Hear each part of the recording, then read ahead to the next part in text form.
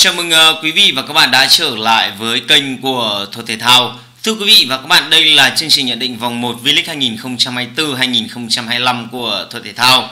Lời đầu tiên thì cho Thể Thao xin chúc các cô chú anh chị và các bạn có một buổi tối vui vẻ và hạnh phúc. Và trước khi đến với chương trình ngày hôm nay như thường lệ, quý vị và các bạn có thể ủng hộ Thuật Thể Thao bằng cách bấm like video, chia sẻ video và đưa ra những cái bình luận, cái dự đoán tỷ số của mình ở phía dưới để chúng ta sẽ cùng xem được rằng là sau vòng này chúng ta sẽ dự đoán đúng tỷ số bao nhiêu trận đấu. Xin cảm ơn các cô chú anh chị và các bạn rất là nhiều.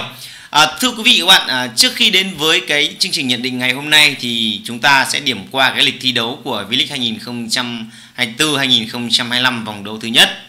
Theo lịch thi đấu của V-League 2024-2025 vòng đấu thứ nhất thì sẽ diễn ra à, trong 2 ngày, ngày 14 và ngày 15 tháng 9. Trong ngày 14 tháng 9 thì sẽ diễn ra 3 trận đấu. Đó là cuộc so tài của Hà Tĩnh với Nam Định vào lúc 18 giờ. Cũng vào lúc 18 giờ thì đó là cuộc so tài của Thanh Hóa với Bình Dương. Vào lúc 19 giờ 15 à, ngày 14 tháng 9 thì Hà Nội sẽ tiếp đón Bình Định trên sân nhà. Trong ngày chủ nhật ngày 15 tháng 9 thì sẽ diễn ra 4 trận đấu còn lại. Vào lúc 17 giờ thì Quảng Nam sẽ đối đầu với Hoàng Anh Gia Lai. À, vào lúc 18 giờ Sông Lam Nghệ An đọ sức với Đà Nẵng. Vào lúc 19 giờ 15 thì Hải Phòng đối đầu với Công an Hà Nội và trận đấu muộn nhất của vòng đấu này đó là cuộc so tài của Thành phố Hồ Chí Minh với Thể công Viettel.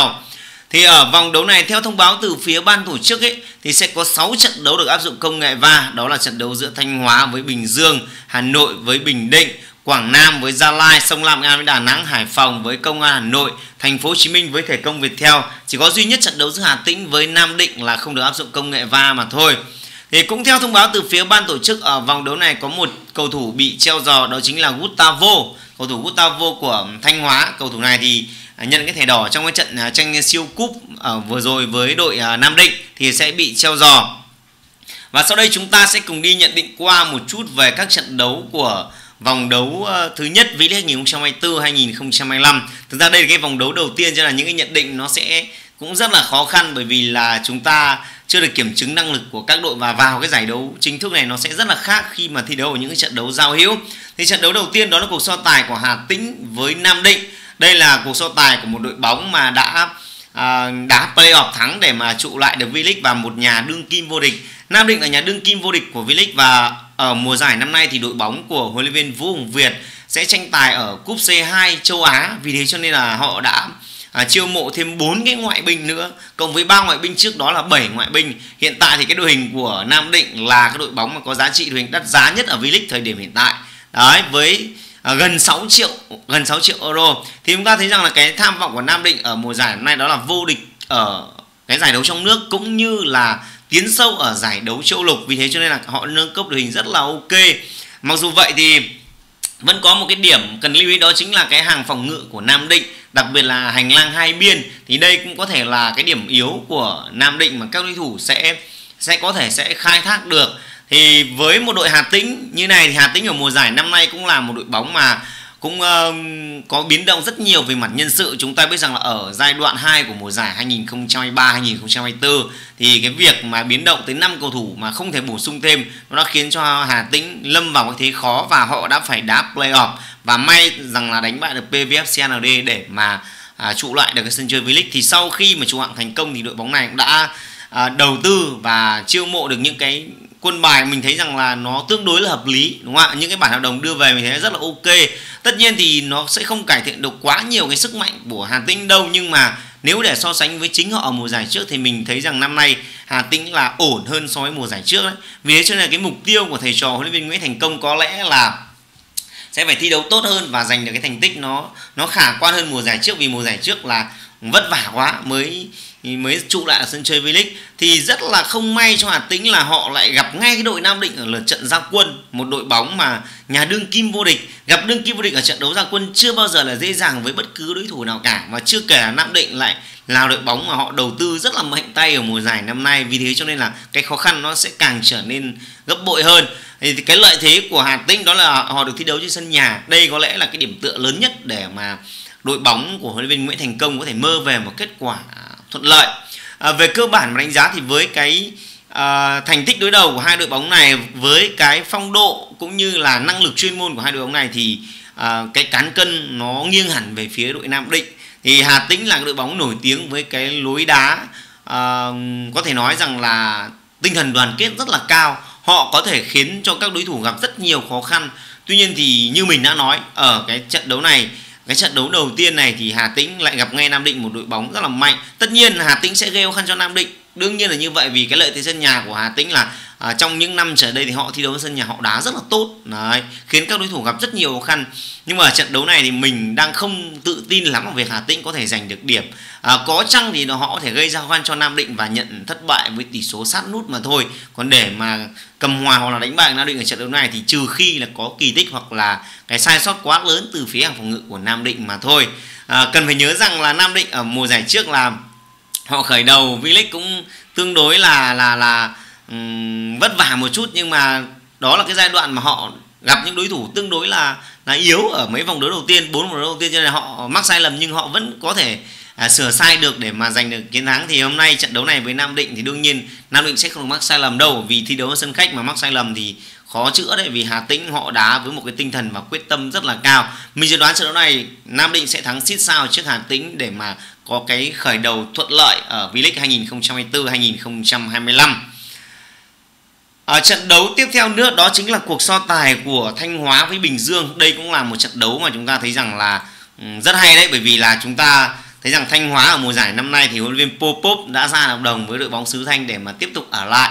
Trong đó thì Bình Dương lại càng ấn tượng hơn nữa. Bình Dương thay huấn luyện viên, huấn luyện viên Lê Bình Đức bằng huấn luyện viên um, Hoàng Anh Tuấn. Thì chúng ta biết rõ rằng huấn luyện viên Hoàng Anh Tuấn là một nhà cầm quân là đã được, đã khẳng định được cái tên tuổi của mình ở bóng đá trẻ bóng đá trẻ nhé mọi người nhé còn uh, khi mà dẫn dắt các đội bóng V-League thì bây giờ dẫn dắt Bình Dương nó là một nhiệm vụ không hề dễ dàng một đội bóng như Bình Dương này có năng lực đấy chất lượng đội hình tốt đấy. Tuy nhiên thì để mà giúp cho Bình Dương trở lại được cái sức mạnh vốn có như ngày xưa có thể hô mưa gọi gió như ngày xưa thì không dễ dàng một chút nào cả. Bây giờ ở ngoài này miền Bắc có những đội bóng rất là mạnh như Nam Định như Công an Hà Nội như Thể Công với theo nhân FC cho nên để Bình Dương mà lấy lại được cái sức mạnh của mình như ngày xưa có thể vô địch được nó sẽ là một câu chuyện không hề đơn giản một chút nào. Bình Dương ở kỳ chuyển nhượng mùa hè năm nay thì cũng đã hoạt động rất là hoạt động rất là náo nhiệt. Đấy, cũng đã đưa về những bản hợp đồng mình thấy rằng là nó cũng rất là ok. Chỉ có điều là một số cầu thủ học trò cũ của huấn luyện viên Hoàng Anh Tuấn ví dụ như Đức Trinh chẳng hạn hay một số cầu thủ mà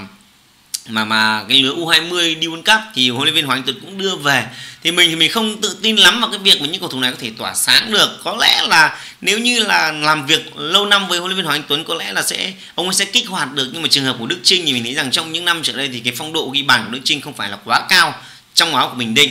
Thì về Bình Dương này không biết là kết hợp với Tiến Linh thì sẽ đá như thế nào. Thì chúng ta sẽ cùng chờ thôi. Còn à, về chất, về cơ bản là chất lượng đội hình của Bình Dương thì vẫn được đánh giá cao hơn so với Thanh Hóa vì là cái giá trị đội hình cũng như là cái cái nguồn lực cầu thủ của Bình Dương mấy năm nay thì vẫn được đánh giá cao hơn so với cái đội Thanh Hóa. Và theo cái định giá của chuyên trang Transfermarkt đấy thì Bình Dương là đội bóng mà có giá trị đội hình đắt thứ tư ở V-League chứ không phải đơn giản. Đội bóng này được định giá là là 4 triệu. Đấy trong khi đó thì Thanh Hóa là có 2,85 thôi đắt hơn khá nhiều đấy đúng không ạ? Một triệu rưỡi. Thì nó cho thấy được rằng tất nhiên cái giá trị đội hình này nó nó nó chỉ phản ánh được đúng một phần thôi về chất lượng đội bóng thôi nhưng mà nó cũng đã nói lên khá nhiều điều. Thì Thanh Hóa ở mùa giải này thì cũng cũng cũng ờ, không có quá nhiều biến động đâu. Họ chia tay một số cầu thủ nhưng đó đa phần là những cầu thủ mà không đóng góp được quá nhiều vào cái mặt trận ờ, cái cái thành tích của họ. Đặc biệt là toàn là những cầu thủ dự bị và cũng nhiều cầu thủ cũng lớn tuổi rồi đúng không?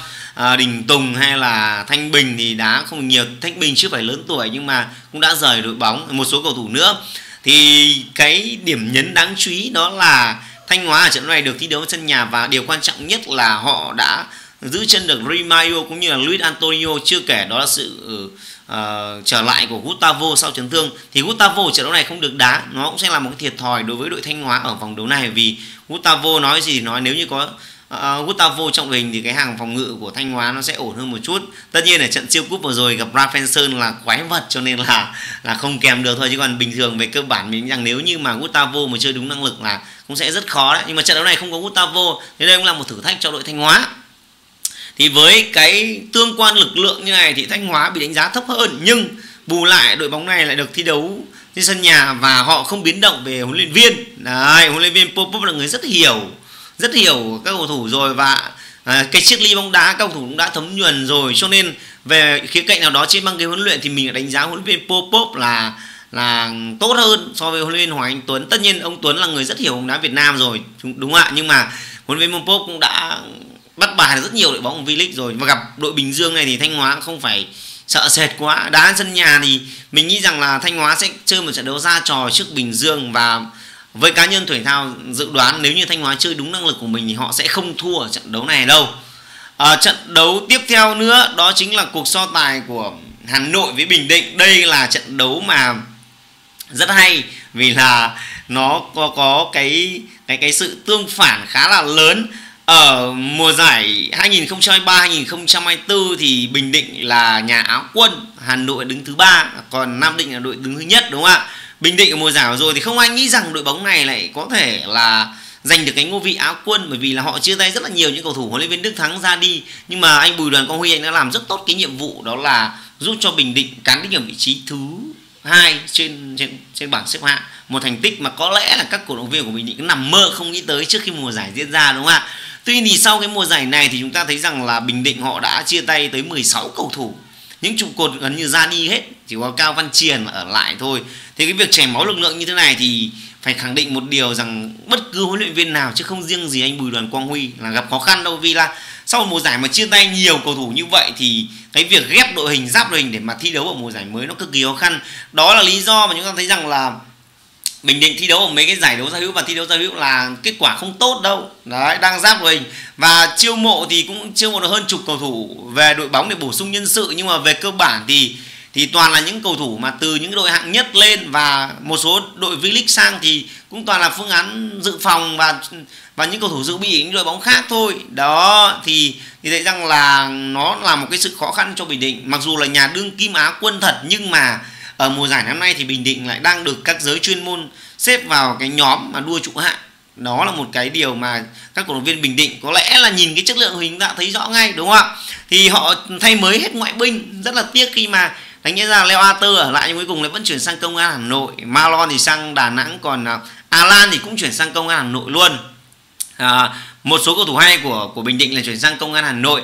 Thì về phía đội Hà Nội FC thì đội bóng này ở mùa giải năm ngoái vị trí thứ ba cũng chưa phải là một vị trí mà làm hài lòng đội bóng này đâu. Bởi vì Hà Nội FC mùa giải nào cũng như vậy thôi. Họ hướng tới cái mục tiêu là giành cái chức vô địch. Nhưng mà do cái mùa giải trước thì họ có biến động về mặt nhân sự lớn đặc biệt là những ngoại binh thay đổi liên tục.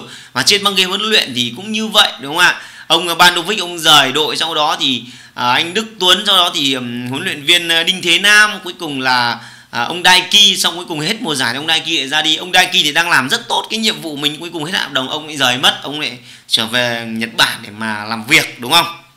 Thì nó là một khó khăn nhưng mà à, bổ nhiệm anh Lê Đức Tuấn lên thì mình thấy rằng thời điểm hiện tại nó cũng là một một cái nước đi nó an toàn hơn ừ, cho Hà Nội ở mùa giải hôm nay vì anh Đức Tuấn là người rất hiểu đội Hà Nội rồi đúng không ạ? Làm việc lâu năm ở đây thì rất hiểu các cầu thủ của Hà Nội. Cho nên là họ thay các à, ở mùa giải năm nay thì ở kỳ chuyển nhượng năm nay thì Hà Nội FC cũng đã à, thay thay thay à, à, tất cả các ngoại binh à, đưa về những ngoại binh có thể nói rất chất lượng cầu thủ người Nigeria đắt giá nhất V-League thời điểm hiện tại. Đó thì cái vấn đề lớn nhất của Hà Nội thì đó chính là cái vấn đề ngoại binh. Ngoại binh. Nhìn về mặt nội binh ở mùa giải năm nay thì để so sánh với mùa giải trước thì mình thấy rằng là yên tâm hơn một chút. Các cổ động viên của Hà Nội yên tâm hơn một chút. Nhưng về ngoại binh thì sẽ phải cải thiện cái bài toán ghi bàn của các ngoại binh. Bởi vì là hai năm trở đây thì các cầu thủ ngoại binh của Hà Nội là chơi không tốt uh, nhìn chung là để cho các uh, các nội binh họ gánh trong cái khâu ghi bàn. Vì thế cho nên là Hà Nội FC khi gặp những đối thủ mạnh ở những trận cầu 6 điểm toàn thất bại thôi. Đấy thua Nam Định xong thua Bình Định đúng không ạ? Khó khăn lắm bởi vì là khi gặp những đội bóng có ngoại binh ngon như mùa giải năm ngoái ngoại binh Bình Định ngon lắm. Alan, Lewater, Malon đá tốt. Còn Nam Định thì à, Henry Raffenson đúng không ạ? Đá hay quá cho nên là không trụ được. Trong khi đó thì hàng thủ của Hà Nội FC thì hai năm trở đây thì cũng chơi không tốt. Mùa giải trước thì mùa giải 2023 ấy thì để lọt lưới 22 bàn trên 20 trận mùa giải vừa rồi thì lọt lưới tới 37 bàn trên 26 vòng. Thì đây là những con số nó nó biết nói đấy vì con số này nó cho thấy rằng cái hàng phòng ngự của Hà Nội FC là chơi không tốt hàng công thì cùn mà hàng thủ thì lại không tốt cho nên là cái vị trí thứ ba à, mặc dù là không hài lòng thật đấy nhưng mà đó cũng là một vị trí mà nó cũng nó cũng làm cho các cổ động viên của Hà Nội là cảm thấy Ừ, tạm tạm yên tâm rồi đúng không ạ? Vì thực ra mà nói thì cái giai đoạn đầu Hà Nội FC chơi không tốt cái màn nước rút rất tốt thì nó đã giúp cho họ cán đích trong top 3 thôi. Chứ còn à, may là những cái đội bóng khác như thể công Việt Theo hay Bình Dương họ cũng xa rút trong giai đoạn lượt về. À, thể công Việt Theo thì à, ở giai đoạn 2 thì thì bổ sung được những ngoại binh ngon thì bắt đầu mới bứt lên được ở vị trí thứ năm. Còn Bình Dương là bị tụt dốc không phanh thế nên là Hà Nội đã lọt được vào cái cái top 3 đấy đúng không? Thì trận đấu này gặp Bình Định thì sẽ là một cái cơ hội vàng. Tại sao mình nói là cơ hội vàng? Vì trong mùa giải vừa rồi thì Hà Nội thua Bình Định cả hai trận thì năm nay là gặp Bình Định. Bình Định bây giờ so với Bình Định của năm ngoái là một trời một vực, khác nhau hoàn toàn. Năm nay đội hình yếu hơn. Và ngoại binh thì đang là dấu hỏi. Đó, nếu như Hà Nội FC mà vô hiệu hóa được các ngoại binh của Bình Định ở trận đấu này thì mình tin rằng Hà Nội FC sẽ có được chiến thắng một khởi đầu thuận lợi ở V-League năm nay. Và mình dự đoán Hà Nội FC sẽ giành được chiến thắng với tỷ số cách biệt hai bàn trước Bình Định ở cái trận đấu giao quân tại V-League 2024-2025. Xin chuyển sang trận đấu tiếp theo nữa đó chính là cuộc so tài của đội uh, Quảng Nam với Hoàng Anh Gia Lai. À, đây là trận đấu mà mình cho rằng là rất là cân sức cân tài đấy vì uh, đây là trận đấu của hai đội bóng mà có cái lực lượng nó xem xem nhau Quảng Nam và mùa giải rồi cũng chia tay nhiều quá chia tay mười mấy cầu thủ và cũng bổ sung thêm những gương mặt mới nhìn chung thì ở kỳ chuyển nhượng mùa hè 2024 thì cái đội Quảng Nam và cái đội Bình Định là hai cái đội bóng mà có biến động rất lớn về mặt nhân sự. Thì nhưng mà về cơ bản thì Quảng Nam họ huấn luyện viên Văn Duy Sơn cũng đã um, giúp cho các cầu thủ thi đấu có những trận đấu giao hữu là cũng cũng chấp nhận được đúng không ạ? Kết quả cũng không đến nỗi nào. Còn Hoàng Gia Lai thì cái cái quá trình chuyển nhượng của Hoàng Gia Lai ở cái mùa giải mùa hè 2024 này thì nó không có quá nhiều cái biến động. Họ uh, để cho Thanh Bình để cho cho cho Tuấn Anh rời đội bóng. Và họ cũng mua thêm uh, mua thêm hai ngoại binh mua thêm hai ngoại binh ờ, về để mà thi đấu. Và đặc biệt là họ cũng đôn một số cầu thủ trẻ lên. Thì chia sẻ với tuổi thao thì huấn luyện viên Vũ Tiến Thành nói rằng cái mục tiêu của Hoàng Anh Gia Lai ở mùa giải năm nay là lọt vào được cái top 6 của V-League. Thì đây mình nghĩ rằng đây là một cái mục tiêu nó sẽ rất là khó khăn đối với Hoàng Gia Lai nếu như họ muốn làm được ừ, hoàn thành được cái mục tiêu này. Sẽ không dễ đâu vì về cơ bản cái nhân sự như này thì nó sẽ gặp những khó khăn nhất định vì là chúng ta thấy rằng như Quảng Nam là cái đội bóng như này là nhưng mà không không dễ để cho Hoàng Gia Lai đánh bại đâu. Chúng ta biết rằng là Quảng Nam ở mùa giải trước thì họ vừa mới lên hạng và họ đá cũng rất tốt ở giai đoạn đang đi. Tuy nhiên thì ờ, cái cái mặt lực lượng và à, càng về cái đường trường thì yêu cầu các đội bóng phải có cái lực lượng tốt. Nhưng mà Quảng Nam thì cái nhân sự nó cũng toàn đi mượn của đội mấy đội bóng, đặc biệt là Hà Nội, mượn mấy cầu thủ Hà Nội đá rất hay thì mùa giải này họ cũng đòi về rồi và một số cầu thủ cũng rời đội đi các đội bóng khác thì trận đấu này thì Quảng Nam vẫn thi đấu trên sân Hòa Xuân nhé mọi người nhé hai đội bóng gặp nhau trên sân Hòa Xuân. Cái thành tích đối đầu của hai đội bóng trong ờ, mùa giải vừa rồi thì Hoàng Gia Lai là một thắng một hòa. Nói chung là Hoàng Gia Lai khi gặp những đội bóng mà mà ngang ngửa với mình thì họ lại biết, rất biết cách để lấy điểm. Mặc dù là khó khăn trong việc thắng nhưng mà họ cũng sẽ khó khăn sẽ không thua. Đấy. thì đây là trận đấu mà mình mình cho rằng là là một cơ hội cho cả hai đội bóng. Vì hai đội bóng này thì gặp nhau ở trận đấu giao quân thì nó có một chút nó cũng nhẹ nhàng hơn, vì nếu như mà gặp những đội bóng mạnh hẳn ấy, như trường hợp của Hà Tĩnh chẳng hạn, gặp Nam Định thì khó nhưng hai đội bóng này gặp nhau thì hoàn toàn có thể giành được điểm để mà có một cái khởi đầu nó không đến nỗi nào. Thì thuật thể thao cho rằng đây là trận đấu mà Hoàng Gia Lai chắc chắn sẽ áp dụng cái đấu pháp phòng ngự phản công, chờ Quảng Nam mắc sai lầm để tung cái đòn trừng phạt. Thì với cái lợi thế của mình sân nhà, mặc dù đá sân Hòa sân thật nhưng vẫn cho là sân nhà thì thì Quảng Nam mình nghĩ rằng với Hoàng Vũ Thăng Sơn và các đồng đội của mình thì hoàn toàn có thể gây ra khó khăn cho đội Hoàng Gia Lai và mình dự đoán trận đấu này khả năng cao hai đội sẽ hòa nhau với tỷ số một đều. À, trận đấu à, thứ năm mà chúng ta đi nhận định ngày hôm nay đó là cuộc so tài của Sông Lam Nghệ An với Đà Nẵng thì cũng giống như cái trận đấu trước giữa giữa giữa đội ở Quảng Nam với Gia Lai thì trận đấu Sông Lam Nghệ An với Đà Nẵng là một trận đấu mà chúng ta thấy rằng là à, cũng à, cân sức cân tài đúng không ạ? À, sông Lam Nghệ An thì ở mùa giải hôm nay thì bổ sung thêm hai ngoại binh hoặc thay hai ngoại binh giữ lại mỗi Olaha thôi. Và bên cạnh đó thì họ vẫn trung thành với cái việc là dùng sử dụng cây nhà láo vườn những cầu thủ họ đào tạo ra đôn cầu thủ trẻ lên. Mùa giải rồi cũng chia tay chia tay một số người. Thì sông Lam Nghệ An cũng đã cho thấy được cái nước đi của mình là vẫn trung thành với cái cái, cái lò đào tạo và cái chiếc ly bóng đá là bóng đá của mình. Vì có tới đâu thì làm tới đó, đúng không ạ? Cũng không dễ một chút nào cả, vì cái cái nguồn tài chính và cái nguồn cầu thủ cũng như thế thôi. Thì mua được hai ngoại binh mới thì hy vọng rằng là hai ngoại binh này có thể kết hợp cùng với Ola Hải tạo ra được một cái cái cái bệ phóng để cho cho sông Lam An thi đấu. Còn về cơ bản mà đánh giá sông Lam An Đà Nẵng thời điểm hiện tại thì mình lại đánh giá Đà Nẵng là đội bóng đánh giá cao hơn đấy. Vì Đà Nẵng mặc dù là mới lên hạng thôi, nhưng mà cái sức lượng cầu thủ của họ là À, mình đánh giá là cao hơn đội sông Lam An. Đấy và đặc biệt là huấn luyện viên Trương Huyền Hoàng cũng là một người mà đã vô địch V-League rồi. Đấy mặc dù là cái chức danh đăng ký là giám đốc kỹ thuật nhưng về chuyên môn thì huấn luyện viên um, Trương Huyền Hoàng vẫn là người ừ, cầm sa bàn đúng không ạ? Thì Đà Nẵng năm nay thì chiêu mộ được những cầu thủ rất chất lượng đấy. Và ở cái giải đấu giao hữu rồi thì cái cái tiền đạo ngoại binh của họ ờ, là giành được cái danh hiệu phá lưới đấy. Không phải đơn giản gì đâu. Và ừ, về cơ bản thì ở trận đấu này thì mình đánh giá rằng Đà Nẵng mặc dù là nhỉnh hơn sông Lam An nhưng đá trên sân Vinh nó sẽ là một cái nhiệm vụ nó không dễ đâu. Vì trên sân Vinh sông Lam An cũng đã gây ra rất nhiều khăn cho các đối thủ lớn. À, mình nhớ không nhầm là trận khai mạc của mùa giải trước thì sông Lam An tiếp đón thể công Việt theo trên sân Vinh thì phải. Đấy, mình nhớ không nhầm. Thì trận đấu đó mặc dù là sông Lam An còn còn bị thua trước nhưng cuối cùng họ vẫn có được một điểm. Đấy, năm nay thì gặp Đà Nẵng nhẹ hơn. Thì trận đấu này giữa hai đội bóng mà mà cái năng lực chuyên môn nó cũng xem xem nhau như này thì đội bóng nào tận dụng cơ hội tốt hơn và mắc sai lầm ít hơn thì sẽ có kết quả thuận lợi thôi. Nhưng mà mình thì mình thấy rằng là đây là trận đấu mà hai đội bóng sẽ thi đấu chặt chẽ vì không ai muốn thua ở trận đấu ra quân cả, đặc biệt là sông lam, nghệ an. Họ đang rất quyết tâm ở mùa giải năm nay. Sau mùa giải rồi cũng trụ hạng, cũng cũng vớt đấy. Mùa giải rồi trụ hạng là cũng gay go lắm mới trụ được. Không phải đơn giản trận thắng à, thể công về theo là mang đầy cái bất ngờ, đúng không ạ? Thì trận đấu này mình, với cá nhân thể thao cho rằng đây là trận đấu của hai đội bóng mà thi đấu sẽ chặt chẽ và mình dự đoán trận đấu này có thể hai đội sẽ hòa nhau có có bàn thắng. Trận đấu kế tiếp là cuộc so tài của Hải Phòng với Công an Hà Nội. Đây cũng là một trận đấu, một cặp đấu rất là hứa hẹn, rất là hay và có khả năng là nhiều bàn thắng đấy. Hải Phòng ở mùa giải năm nay thì à, cái hoạt động chuyển nhượng của Hải Phòng nó không có cái gì nó nó nổi cộm cả. Họ chia tay um, Empande thì bổ sung thêm Zé Paulo còn lại thì Biku với lại Lucao vẫn được giữ.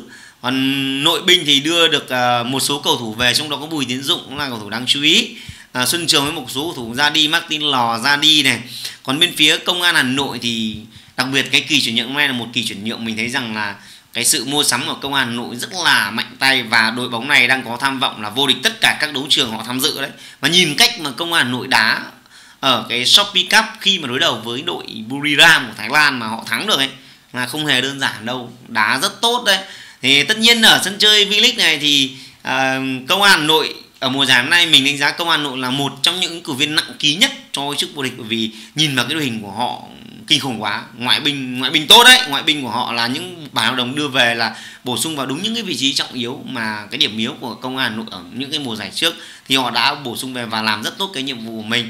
Thì huấn luyện viên Paul King như chúng ta đã biết thì ờ, trong chương trình livestream của những cái cuối của mùa giải trước mình đã nói rằng là huấn luyện viên Paul King có cái giai đoạn cuối làm quen và giai đoạn này, mùa đầu mùa giải hôm nay sẽ là một huấn luyện viên Paul King sẽ rất khác, rất quái và lọc lõi để mà vận hành đội công an Hà Nội thì ngay ở trận đấu với Buriram ở đầu mùa này thì chúng ta thấy rõ được cái vai trò ông Paul King rồi. Thì đây là một cuộc đọ sức của hai huấn luyện viên mà cuộc đấu trí sẽ sẽ rất căng thẳng vì hai huấn luyện viên mình đánh giá rất cao huấn luyện viên Chu Đình Nghiêm cũng như là ông Paul King. Huấn luyện viên Chu Đình Nghiêm là huấn luyện viên nội mà mình cho rằng là xuất sắc nhất V-League ở thời điểm hiện tại. Đấy, còn ông Paul King là một trong những huấn luyện viên ngoại cũng có kinh nghiệm hay. Không phải ngẫu nhiên mà dẫn dắt Thái Lan mà vô địch AFF Cup đánh bại được đội tuyển Việt Nam đúng không ạ? Và ngày xưa dẫn dắt câu lạc bộ Thành phố Hồ Chí Minh thì đúng cái dịp cái đợt Covid 19 đấy, cho nên là cũng khó khăn. Nhưng về cơ bản khi mà nắm trong tay một đội đội hình mạnh như công an Hà Nội thì gặp Hải Phòng thời điểm hiện tại thì công an Hà Nội cũng không phải rén. Tuy nhiên nếu như mà công an Hà Nội mà lại chơi Ừ, chơi đôi công với Hải Phòng thì họ cũng rất thích Hải Phòng, rất thích bởi vì Hải Phòng theo đuổi cái chiến liên tấn công thì họ cũng rất thích chơi tấn công.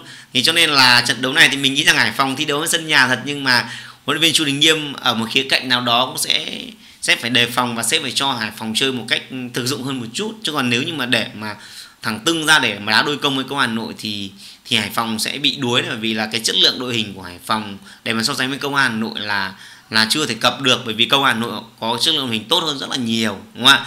Có thể là Hải Phòng có thể gây ra khó khăn trong cái cái trận đấu, cái hiệp 1 được nhưng sang hiệp 2 có thể sẽ bị đuối đặc biệt là công an họ đã có một trận đấu chính thức mà họ đã chơi rất tốt rồi. Còn Hải Phòng bây giờ bước vào cái giải đấu này, họ, Hải Phòng trước giải thì đá giao hữu thôi. Thì bước vào cái trận đấu chính thức này nó sẽ căng đấy cái lợi thế lớn nhất của Hải Phòng ở trận đấu này có lẽ là được thi đấu ở sân nhà mà thôi.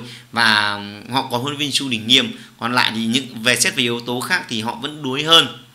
Mình cho rằng nếu như Hải Phòng mà chơi tốt nhất có thể thì thì may ra có được một điểm trước công an Hà Nội. Nhưng khả năng cao mình thì mình thấy rằng, mình quan sát như này thì mình thấy rằng là khả năng cao Hải Phòng sẽ sẽ trắng tay ở trận đấu ra quân trước một đội bóng à, đang được đánh giá rất cao là Công an Hà Nội. Thì chúng ta sẽ, mọi người có thể dự đoán tỷ số trận đấu này phía dưới phần bình luận để xem là à, sau à, cái vòng đấu này chúng ta dự đoán đúng hay không nhé mọi người nhé.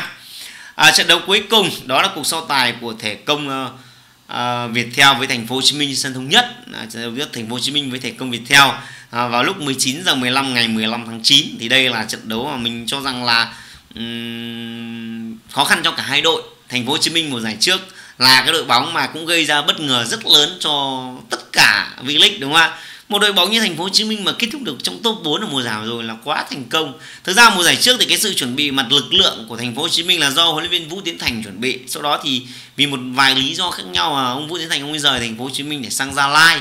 Sau đó thì huấn luyện viên ờ, Phùng Thanh Phương tiếp quản và làm rất tốt cái nhiệm vụ đó. Và năm nay năm nay thành phố Hồ Chí Minh cũng có biến động lớn về mặt nhân sự, nhưng mà biến động theo chiều hướng tích cực, bởi vì họ chia tay nhưng họ bổ sung rất nhiều những cầu thủ tốt. Đấy chiêu mộ những ngoại binh và những những cầu thủ nội binh rất là tốt hay là ngay cả giữ chân Patrick mua được uh, ký được Patrick Lê Giang dài hạn cũng là một thành công đấy đúng không ạ? Mua được uh, mấy tiền đạo ngoại binh cũng rất là ok. Còn thể công Việt theo thì cái nhân sự của họ không biến động nhiều chỉ biến động một chút về về về à, ngoại binh thôi. Họ chia ra hai ngoại binh và bổ sung thêm hai ngoại binh và một số cầu thủ nội thì cũng ký mới nhưng mà về cơ bản thì nó không biến động nhiều. Cái trường hợp của thể công phải theo giống như Hà Nội FC không biến động nhiều về mặt nhân sự à, đặc biệt là cầu thủ nội bởi vì họ có những cái cái nền tảng rất là tốt rồi đúng không? Thì thể công phải theo năm nay sẽ là một đối thủ rất đáng gờm nếu như anh Đức Thắng làm tốt cái công việc của mình. Thì cái quan trọng nhất của thể công phải theo là cái vấn đề hàng công và đặc biệt là các ngoại binh. Nếu như các ngoại binh mà à, ghi bàn ngon ấy thì thẻ công theo sẽ không ngán đội bóng nào đâu. Nhưng mà trận đấu này thì thi đấu trên sân thống nhất cũng sẽ là một thử thách bởi vì là trên sân thống nhất thì thành phố Hồ Chí Minh là đội bóng mà họ chơi rất hay. Mùa giải trước thì thành phố Hồ Chí Minh là một trong những đội bóng mà chơi hay nhất trên sân nhà. Không phải ngẫu nhiên mà họ lọt vào top 4 đâu vì chính cái thành tích mà tốt của họ đã trên sân nhà đã giúp cho thành phố Hồ Chí Minh lọt vào được cái top 4 ấy. Còn thành tích sân khách của thành phố Hồ Chí Minh là lọt vào cái top tệ đấy. Không phải là, không phải là tốt đâu. Nhưng mà nhờ sân nhà mà thành phố Hồ Chí Minh đã làm được. Và chúng ta biết rằng là năm ngoái là thể công với thế đá, sân thành phố Hồ Chí Minh rất khó khăn, đúng không ạ? Có ăn được đâu, đúng không? Thì năm nay là một câu chuyện khác một chút. Nhưng mà về cơ bản thì về, nhìn về tương quan lực lượng thì mình đánh giá rằng là thành phố Hồ Chí Minh cũng không phải ngán thành công về theo. Đặc biệt là khi họ được thi đấu ở sân nhà. Mình thì mình cho rằng thầy trò huấn luyện viên Ừ, Phùng Thanh Phương hoàn toàn có thể gây ra cái bất ngờ trước thể công ở vòng đấu này và mình cho rằng là thành phố Hồ Chí Minh nếu như chơi tốt thì họ hoàn toàn có thể giành được một điểm trước thể công người theo ở trận đầu ra quân đó là những nhận định của thể thao về vòng 1 V-League 2024-2025. Xin cảm ơn quý vị và các bạn đã xem video. Quý vị và bạn có dự đoán gì về kết quả các trận đấu này thì hãy để lại ý kiến của mình phía dưới phần bình luận. Những ai mới xem kênh của Thể thao thì bấm like và subscribe kênh của Thể thao để nhận những thông tin mới nhất liên quan tới bóng đá trong nước và bóng đá quốc tế được Thể thao cập nhật liên tục vào mỗi ngày. Xin chào và hẹn gặp lại quý vị và các bạn trong những chương trình tiếp theo.